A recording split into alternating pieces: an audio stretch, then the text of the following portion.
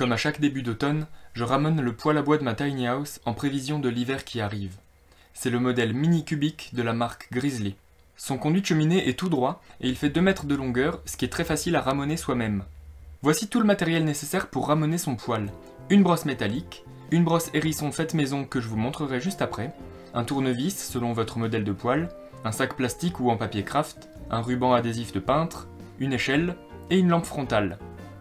Il est important de nettoyer son poêle avant la saison froide, d'abord pour enlever la suie qui s'est déposée à l'intérieur du conduit, mais aussi parce que durant l'été, des insectes peuvent élire domicile dans la cheminée, en particulier les guêpes. J'en retrouve toujours plusieurs qui sont venus mourir dans le poêle, incapables d'en ressortir. Normalement, l'intérieur du conduit se nettoie avec une sorte de long goupillon en métal qui s'appelle un hérisson. Mais pour limiter mon impact environnemental, j'évite d'acheter des objets neufs. Du coup, je fabrique mon hérisson moi-même, avec des outils dont je dispose déjà. Pour cela, il faut une tige rigide en bois un peu plus longue que le conduit, et un objet métallique abrasif dont le diamètre est inférieur à celui du conduit. J'ai récupéré une tige en bambou à laquelle j'ai enfoncé un embout abrasif initialement prévu pour une visseuse. Mais l'année dernière, j'avais utilisé une éponge métallique usagée que j'avais nouée au bout du bambou. Ça avait aussi fonctionné, mais c'était moins stable donc moins ergonomique. Une fois que le hérisson est fabriqué, vous êtes prêt.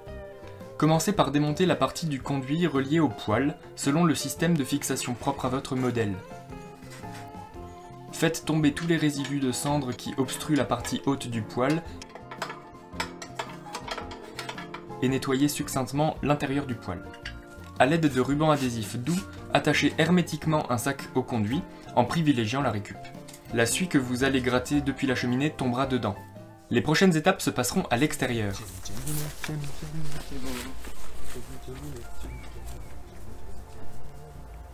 Positionnez votre échelle en vous assurant qu'elle soit parfaitement stable. Demandez à une deuxième personne de sécuriser l'échelle quand vous êtes dessus.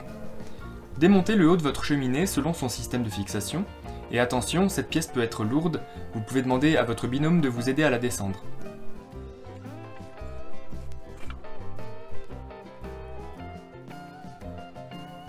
Grattez l'intérieur du haut de la cheminée avec une brosse métallique. Attention aux oreilles sensibles.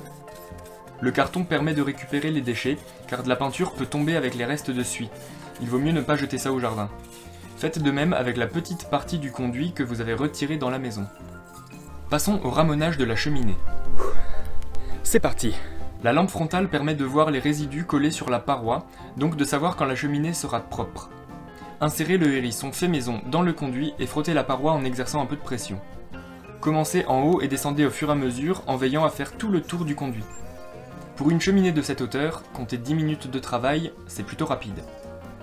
Le hérisson ressort presque aussi propre qu'il est rentré. Repositionnez le haut de la cheminée. Retirez le sac plein de suie que vous pourrez jeter à la poubelle. Et repositionnez le conduit correctement.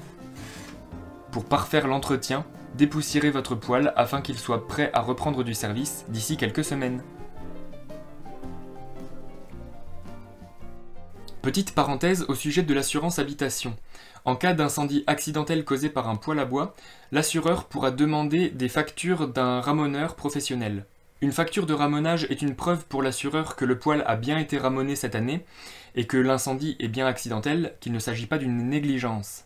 Pour créer la preuve que vous avez ramoné proprement votre poêle vous-même, vous pouvez prendre en photo un journal du jour dont on peut lire la date à côté du conduit nettoyé. Notez que ce n'est pas une preuve aussi fiable et que chaque assurance pourra en juger par elle-même.